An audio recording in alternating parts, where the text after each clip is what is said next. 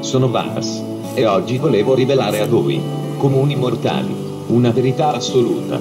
Ebbene sì, Paolo è un ciccio minchia. Avete capito bene è un ciccio minchia.